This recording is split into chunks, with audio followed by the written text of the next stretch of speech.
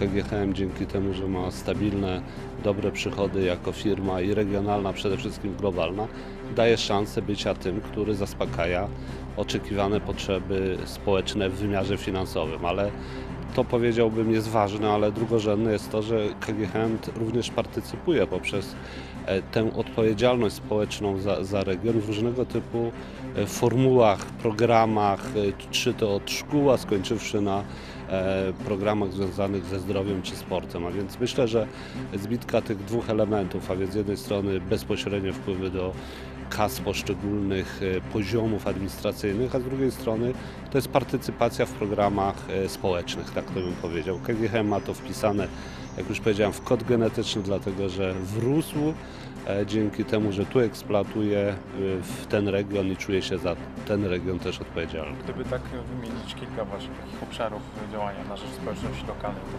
które szczególnie To znaczy, to są.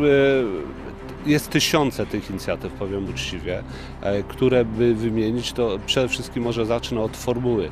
Oczywiście my mamy e, coś takiego jak Fundacja e, Polskiej Miedzi. Fundacja Polskiej Miedzi jest tym narzędziem sprawczym, który pozwala właśnie sfinansować te potrzeby e, społeczne. Czy to na przykład kupno instrumentarium dobrych narzędzi e, do szpitali czy, czy przychodni, a skończywszy na wsparcie również e, takich imprez kulturalnych, w których funkcjonujemy, na przykład Teatr w Legnicy, czy imprezy związane z Operą Wrocławską, czy też, no mówię, jest tych szereg, prawda, no, nie, nie będę się kusił nawet ich wymieniać.